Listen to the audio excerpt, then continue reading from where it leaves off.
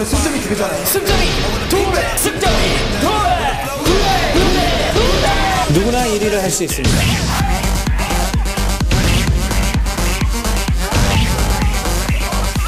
일이 누구야?